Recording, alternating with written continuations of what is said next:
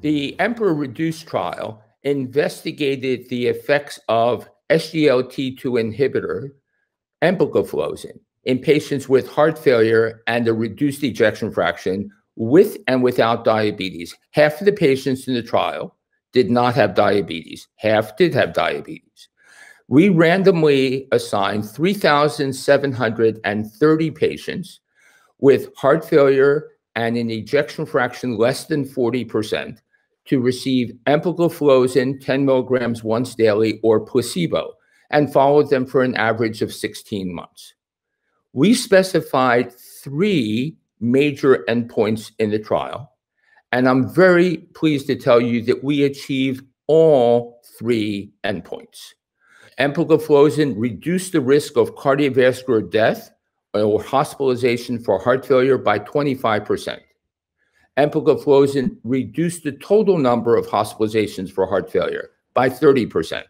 And empagliflozin slowed the decline in renal function over time and reduced the risk of serious adverse renal events by 50%.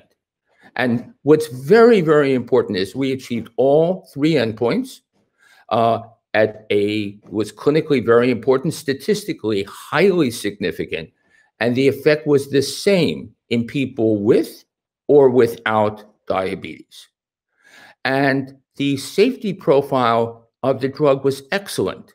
Uh, we had uh, a few more genital uh, genital tract infections in the empagliflozin group, but we had no hypotension, no hypovolemia, no volume depletion, no hypoglycemia, none of the traditional side effects of Uh, conventional heart failure drugs. And we saw these benefits on top of all appropriate conventional therapy.